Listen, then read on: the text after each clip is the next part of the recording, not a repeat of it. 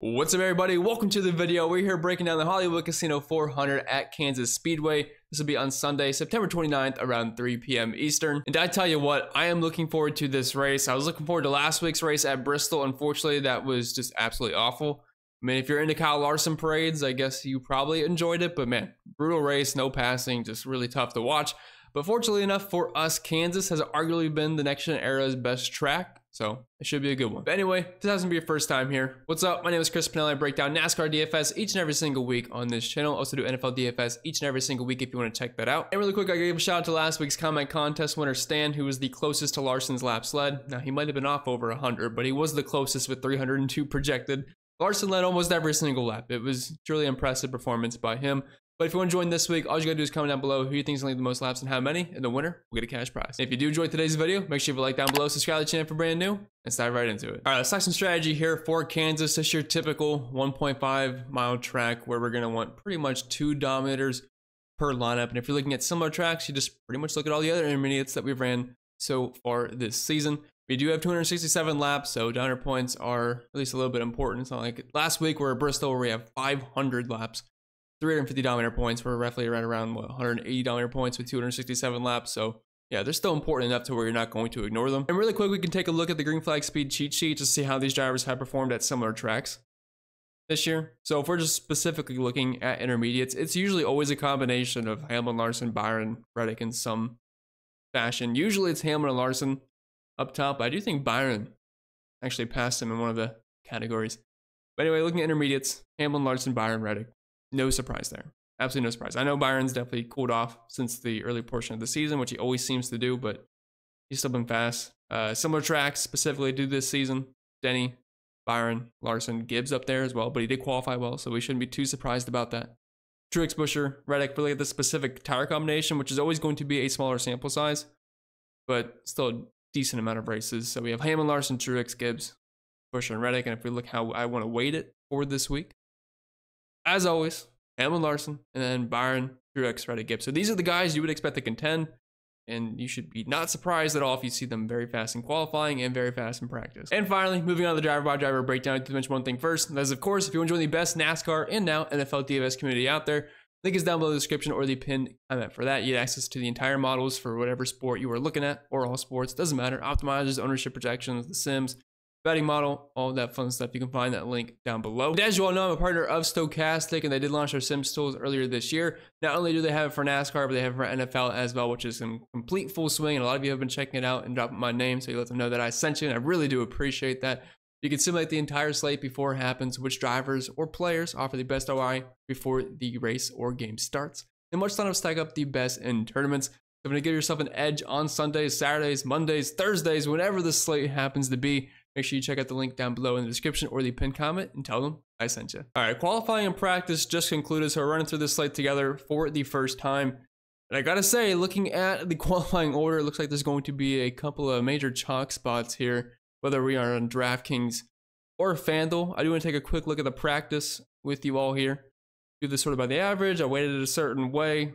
And looking at the overall lap by lap data, we do have Chase Elliott at the top, which is funny because obviously he had an engine issue and he's going to be in the back of the pack. He's going to have to get a new engine and just a big big mess there for Chase Elliott. But Hendrick looked extremely strong because as you can see, Elliott, Byron, Larson all at the top. Carson Hocevar, who's not in Hendrick, but he's a Chevy.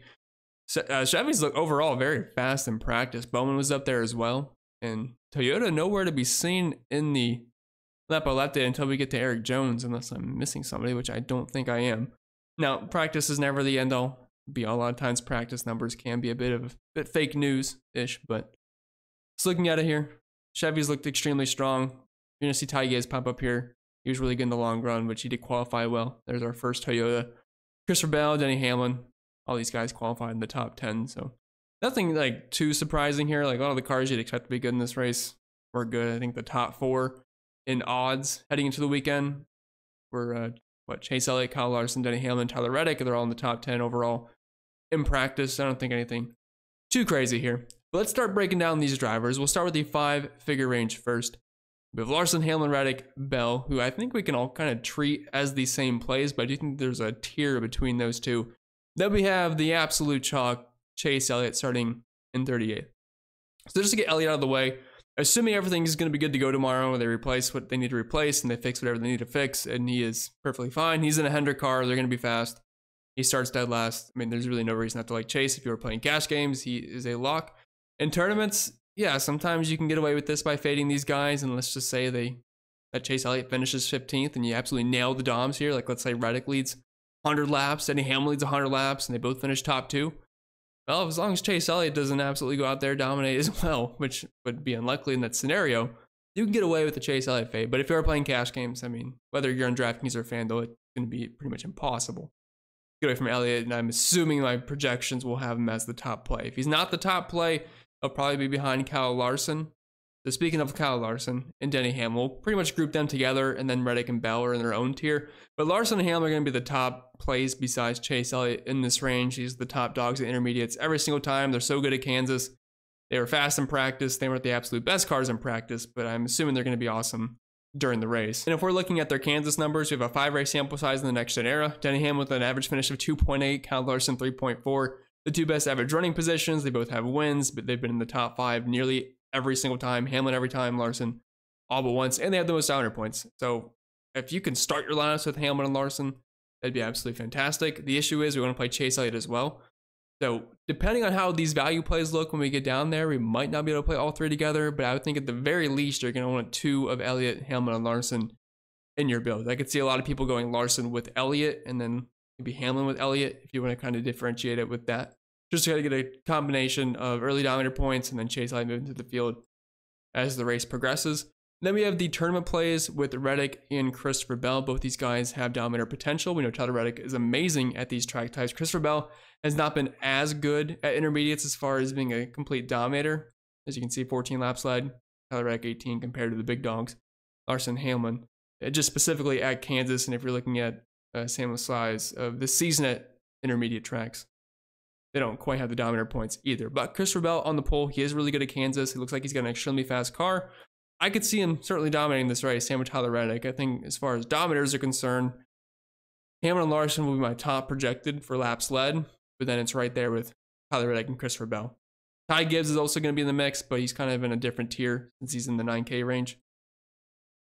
But I'll be honest, I don't think we have to play Christopher Bell in this like just because he's on the pole. I mean, Hamlin Larson, right there with them, Tyler Reddick. They're all going to be project pretty similar, but you also get a bit of a better floor with these guys starting further back. Going down to the 9K range, we have Ryan Blaney at 9,800 bucks. He'll be starting in seventh.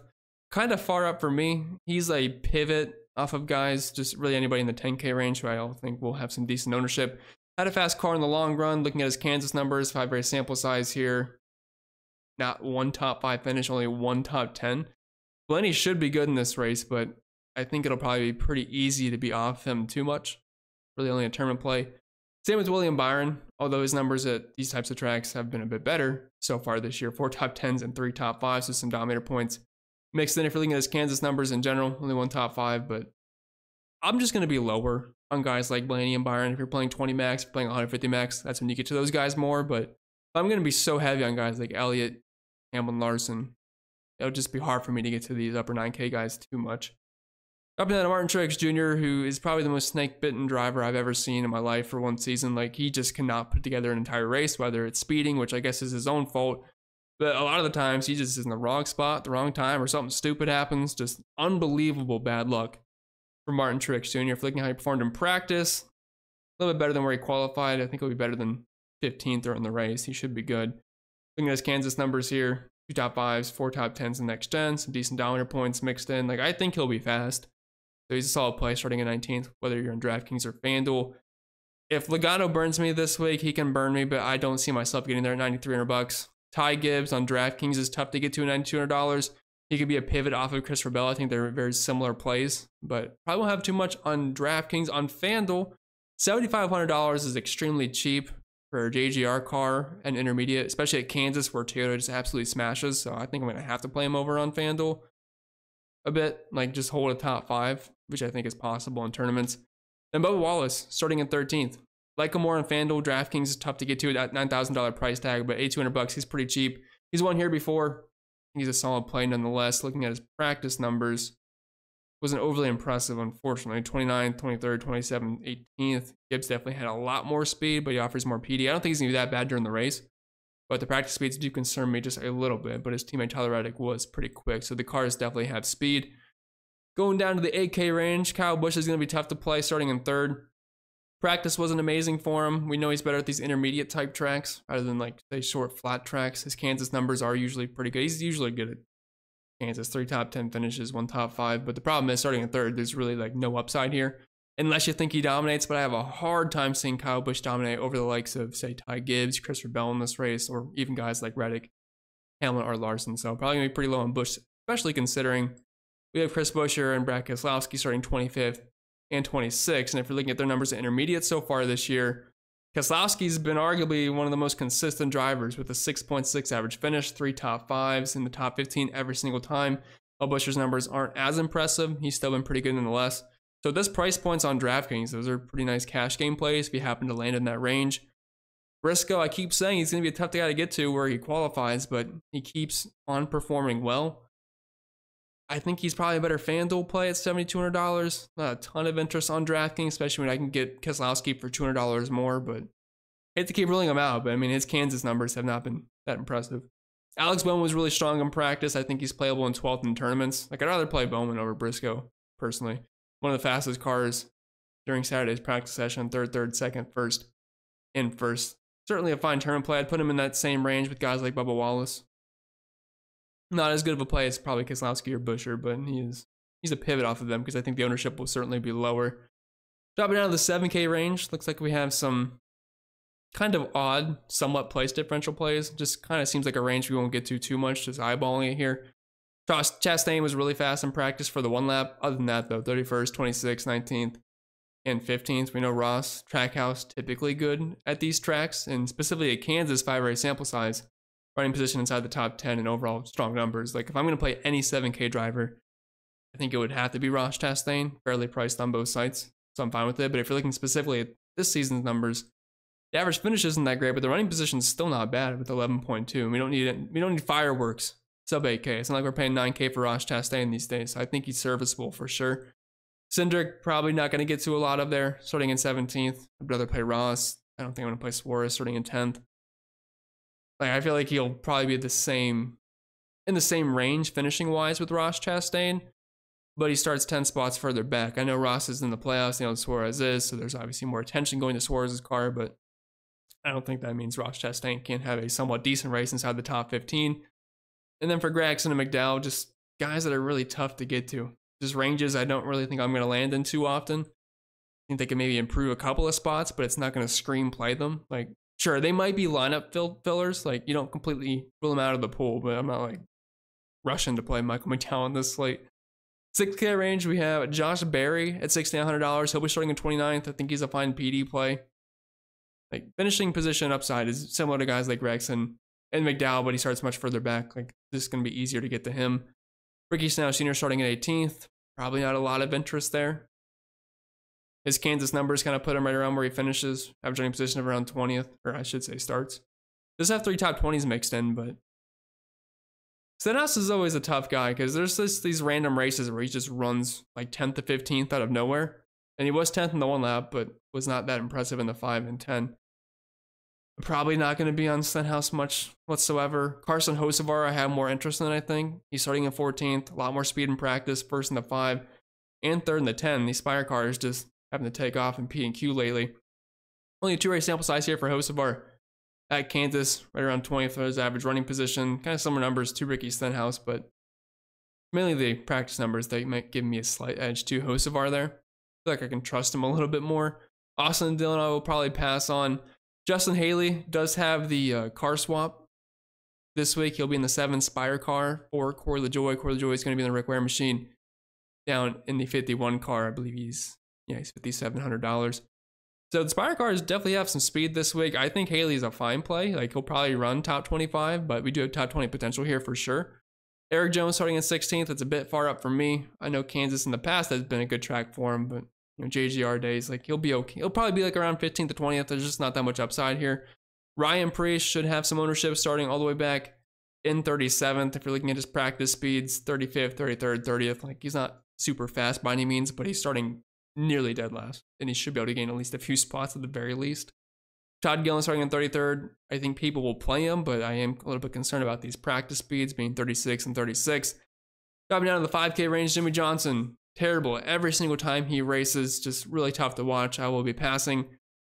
Like, yes, if there's some carnage, he could sneak into the top 30, but I think just based off of speed, there is better plays here. Corey LaJoie is probably going to run borderline top 30. Nemechek, same boat as all of his teammates, although he'll probably run probably run second. Jones will be first, Nemechek second, then Jimmie Johnson will probably crash out at some point. So we won't have to worry about him. Harrison Burton starting in 28th, can't do it. Zane Smith, just again, the Spire cars, they have some decent speed. Starting in 15th, just a bit high for me though. Hemric, Ty Dillon, Grala, Yeley don't really see the need to play them on this slate. Like these are the kind of guys you play when there's just um a ton of dominator points and you gotta just jam in all these DOMs, but really you only need two this weekend. So I don't really want to go below the 6K range too much this week. With that being said, that's all I got for you guys this week. So I hope you enjoyed. If you did, make sure you leave a like down below. Subscribe to the channel if you haven't yet done so. Unfortunately, don't have that many weeks left for NASCAR. The weeks are dwindling down, so we got to enjoy it while it lasts. But wish you all the best, and I'll see you all next time.